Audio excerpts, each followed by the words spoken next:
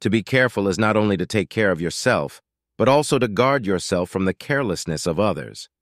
Toba Beta. Ian and Brody Campbell sat at the kitchen table.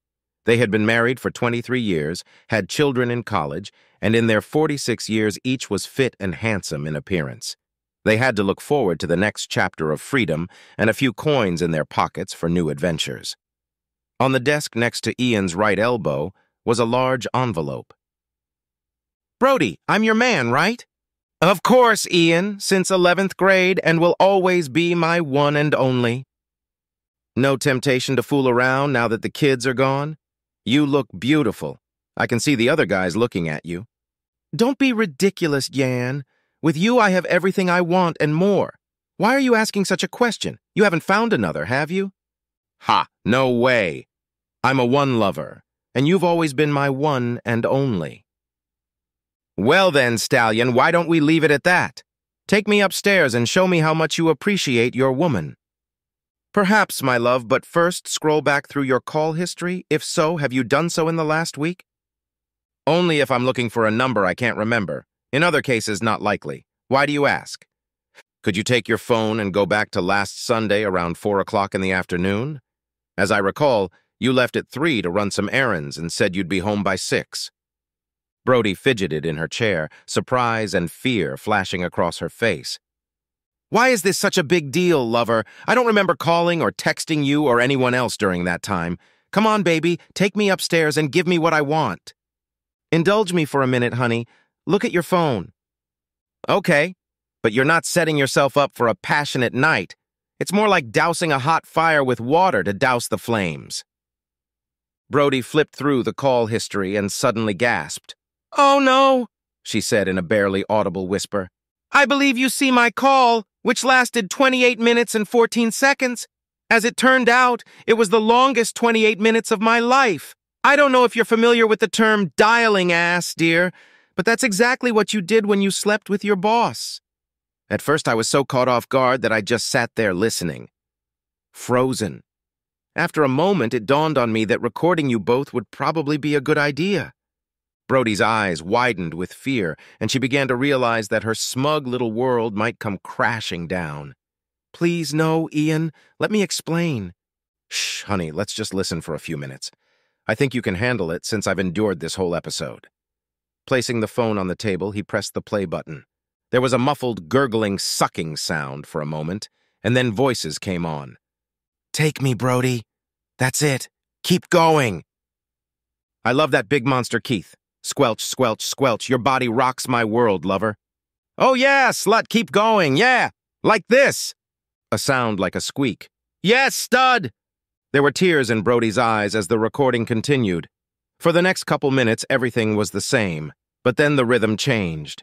It was soon followed by the distinct sounds of undressing. How much time do you have, Brody? I want to have you all day.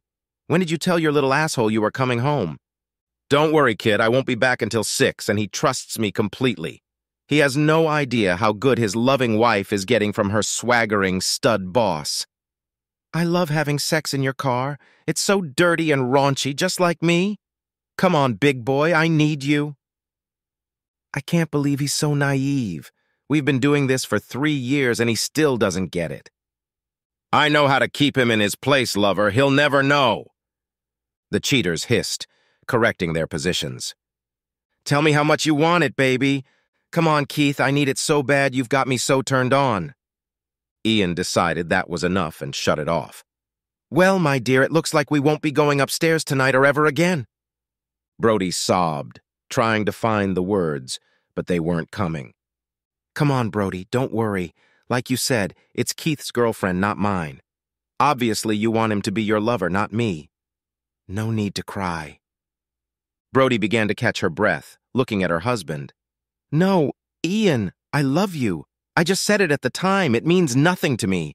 Just a wild affair, that's all. Well, my wife, I don't think three years of outright betrayal can be considered an affair. As for love, I know you like what I provide, and I know you love your children. I know you love the country club, the gold American Express card I pay for, and the beautiful red Lexus RX 350 I gave you for our last anniversary. Now, I know why you love a job you don't want, But please stop insulting my intelligence and be truthful. There is no room in your heart for love for me, not the kind of love shared by one man and one woman for a lifetime. I love you, Ian, but it was an idiotic choice on my part. The kids were getting older and I felt lost. Keith just jumped in when I was weak. I'll break up with him tonight, I swear. I won't, Brody, and seriously, cut the crap. Your carelessness is the only reason we're having this conversation. Careless with the phone, but infinitely more careless with my love and our marriage. I was gullible. Obviously too gullible, but no more. Now I will only proceed with extreme caution when it comes to you. Finishing his comments, he placed the envelope on the table. What's this? Asked Brody, recoiling as if from a poisonous snake. It's my first step toward caution. Self-preservation and caution tell me I should get as far away from you as possible. These are divorce papers. I thought about filing them at work, but you shouldn't think me soft-hearted.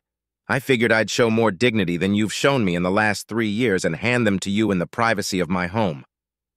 No, Ian, please, no! exclaimed Brody. She was about to continue, but he interrupted her. Yes, Brody, emphatically yes. I will never be a willful sycophant or allow myself such disrespect. I don't believe for the world that you could have thought things could turn out differently. Maybe Keith was your first. Maybe he was one of dozens over the years. I don't know. And, not to be unsubstantiated, I don't care. He was the only one, Ian. You have to believe that. Before him, there was only you. Brody, listen to me carefully. I have no reason to believe a cheat and liar like you, but like I said, I don't care. My life will not be dictated and controlled by a selfish whore who spits on my love and my trust. Get a lawyer and hope for the best, but it's over between us. Brody's anguish began to turn to anger. I'm not going to walk away and sign those pathetic papers, Ian. I will fight this to the last man. I will not become a divorced woman after 23 years of a beautiful marriage. This is my home, you are my husband, and I will fight for my life, for our life together.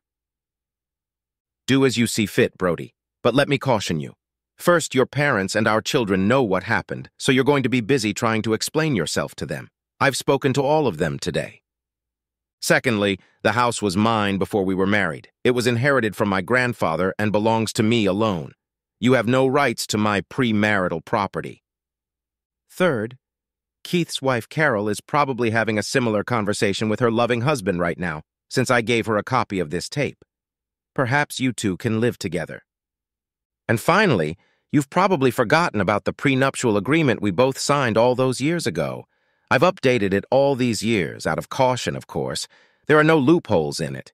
Cheating means the unfaithful partner gets nothing. Nothing. Zero, zero, zero, zero. I've enclosed a copy for your attorney's review. I have booked and paid for one week at the Hilton Garden Hotel near your office. For one week, you may use the car I have provided for you. After that, you will have to pick up the payments if you want to keep it, as it is registered in my name. I will pay the penalty and give up the lease. Now I suggest you go pack. Brody was at a loss for words, shocked at how in an instant her rogue chickens had come home. Ian stayed at the table while his soon-to-be ex-wife went upstairs. Thirty minutes later, she came downstairs with two large suitcases. Brody, you can call and set up a time to come back and pick up other things you think you'll need. We don't have anything in common that I'm going to leave behind. I'll make sure I won't be home when you get here.